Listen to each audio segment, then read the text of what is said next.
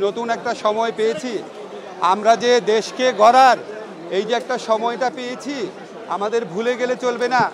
এই সময়টা আমরা অর্জন করেছি।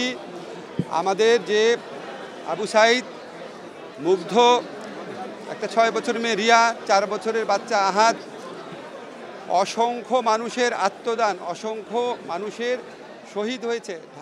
বিভিন্ন রাজপথ রক্তে রঞ্জিত হয়েছে।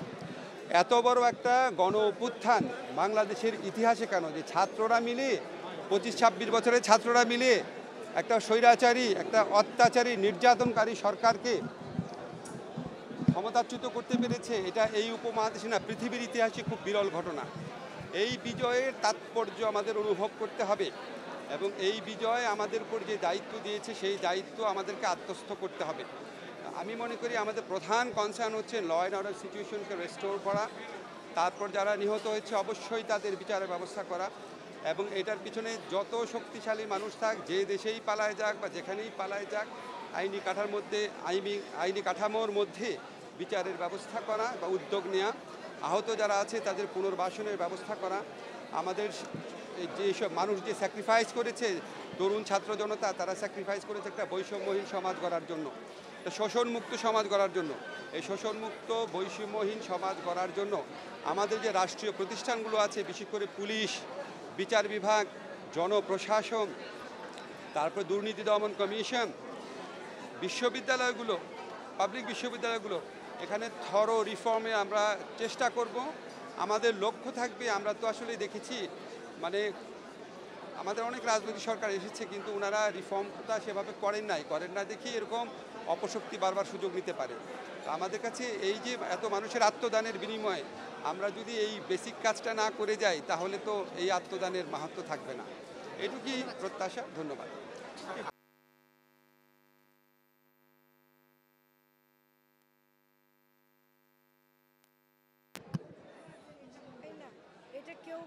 যারা আমাদের দেশকে অস্থিতিশীল করতে চায় তারা করছে। কাজে আমাদের প্রথম কাজ হলো সেই মানে দেশের অবস্থাটা সেদিক থেকে ঠিক করা এবং নারীদের জন্য নিরাপত্তার ব্যবস্থা করা যেটা আমরা মানে যে যা যা করতে হয় আমরা অনেক ধন্যবাদ। এবং কমিটমেন্টগুলো আমরা ছাত্র জনতাকে দিয়েছিলাম সেই কমিটমেন্টগুলো পূরণ করা এই সরকারের মূল চ্যালেঞ্জ হবে।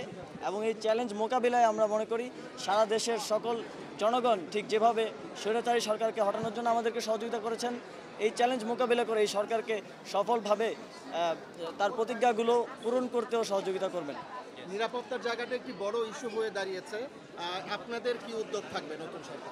আমাদের প্রথম উদ্যোগই থাকবে ল অ্যান্ড অর্ডার স্টাবলিশ করা রিনফোর্স করা।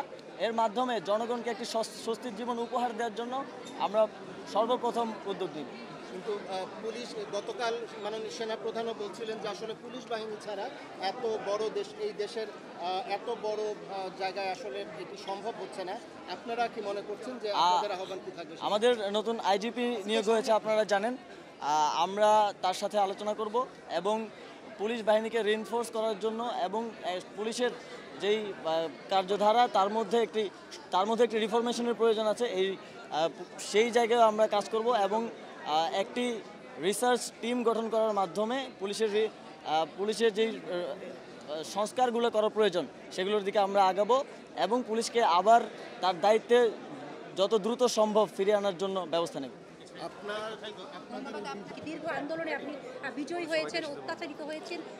আমরা একসাথেই কথা বলব আপনি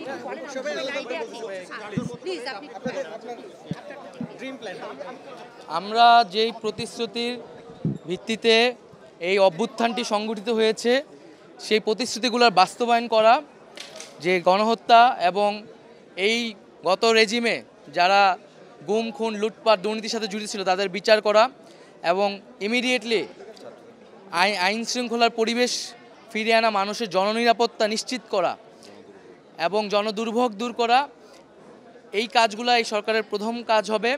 এবং আমরা বলেছিলাম যে রাষ্ট্র পুনর্গঠনের কাজটি আমাদের করতে হবে, রাষ্ট্র সংস্কারের কাজটি আমাদের করতে হবে, পুরো বাংলাদেশকে নতুন করে সাজাতে হবে এবং ছাত্রদের নেতৃত্বে আমরা সরকারের ভিতরে যেমন ছাত্রদের প্রতিনিধিত্ব থাকবে, রাজপথেও আমাদের ছাত্রদের উপস্থিতি থাকবে, সামগ্রিকভাবে আমরা একটা নতুন বাংলাদেশ তৈরিতে নিজেদেরকে কাজে লাগাবো।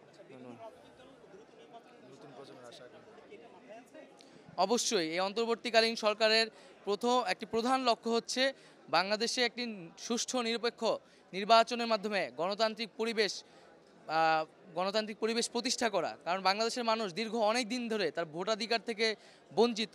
ফলে মানুষের সেই ভোটাধিকার ফিরিয়ে আনতে এই সরকার কাজ করবে। কিন্তু তার আগে নির্বাচন কমিশন থেকে শুরু করে অন্যান্য রাষ্ট্রীয় কাঠামোর সংস্কার প্রয়োজন, না হলে মানুষের অধিকার লঙ্ঘিত হবে। ধন্যবাদ। সবচেয়ে উপরে দেখব আমি তাই। হ্যাঁ? এখন আপনারা বললে তো হবে না কারণ আমরা তো এখনও সামষ্টিকভাবে একজন আরেকজনের সাথে সে অর্থে পরিচিতও হইনি।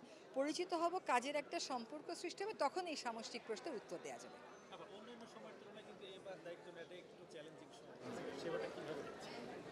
দায়িত্ব নেওয়াটা আসলে অত্যন্ত চ্যালেঞ্জিং এই সময় হ্যাঁ? এবং এটা রুটিন দায়িত্বের মধ্যে না। এর আগের বার যারা দায়িত্ব পালন করেছে তাদের সাথেও এই দায়িত্ব মিলবে না। দায়িত্ব এজেন্ডা হয়তো সম্পূর্ণই ভিন্ন হবে। চ্যালেঞ্জ নিতে তো আমি ভয় পাই না। আশা করি অন্যরাও পিছপা হবেন না। চ্যালেঞ্জটা তো কাউকে না কাউকে নিতে হবে। আমি না নিলে আপনি নেবেন আপনি না নিলে অন্য কেউ নেবে। কাউকে না কাউকে নিতেই হবে। কিন্তু এই চ্যালেঞ্জটা যেন শুধুমাত্র এই কজন ব্যক্তি যারা শপথবদ্ধ তাদের না হয় এই চ্যালেঞ্জটা যেন আঠারো কোটি মানুষেরই শপথ হয়।